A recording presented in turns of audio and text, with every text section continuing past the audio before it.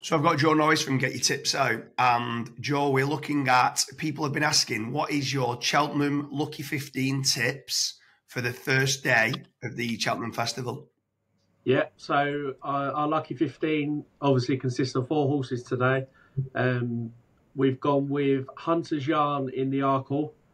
Uh, we've gone with Chianti Classico in the Ultima.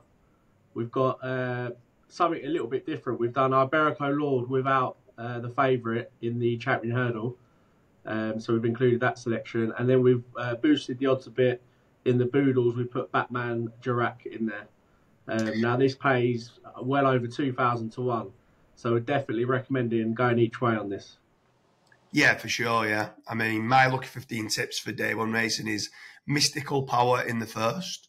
Yeah. I think he might turn over Tullyhill. Um, this is for a more of a win one. State Man, Lossiemouth, and then Corbett's Cross.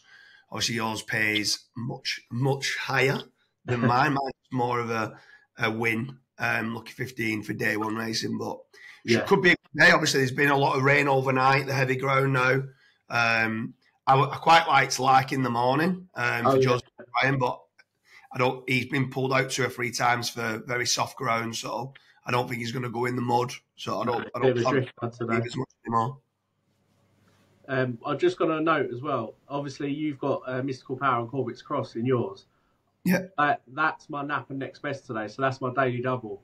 So I'm mega keen on them too. Uh, but that, but that's the reason I haven't got them in the lucky 15 because our, our lucky 15 sort of trying to go for the bigger prices. Um, yeah. Whereas, yeah, I just wanted to reiterate that. Yeah, I'm, I'm really keen on them too as well.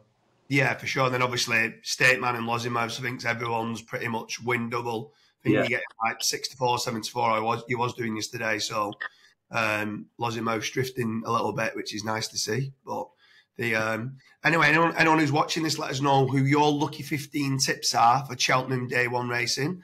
Leave a comment in the comment section. Let's see if anyone can get four out of four up on your Cheltenham lucky 15 tips.